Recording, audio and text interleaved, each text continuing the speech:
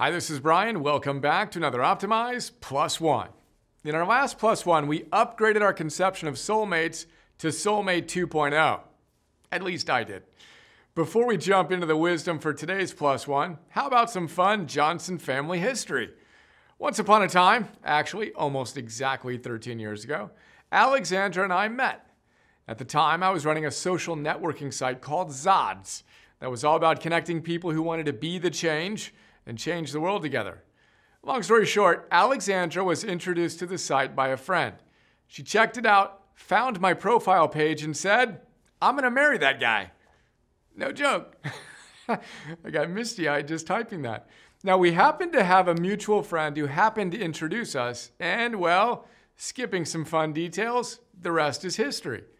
Now, one of the reasons we fell in love is that we both loved Leo Buscaglia and his book, called Love. In fact, Alexandra was the first woman I ever met who had actually read that book, twice no less. So, today we're going to talk about love. More specifically, Leo Buscaglia's Love. We'll start with this gem that captures the thesis of our Love 101 class. Buscaglia tells us, quote, as soon as the love relationship does not lead me to me, as soon as I in a love relationship do not lead another person to himself, this love, even if it seems to be the most secure and ecstatic attachment I have ever experienced, is not true love. For real love is dedicated to continual becoming. Then there's this lesson I've been blessed to learn and relearn.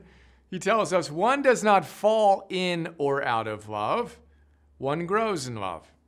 And it's not enough to have lived, we should be determined to live for something. May I suggest that it be creating joy for others, sharing what we have for the betterment of person kind, bringing hope to the lost and love to the lonely. And finally, he tells us if one wishes to know love, one must live love in action.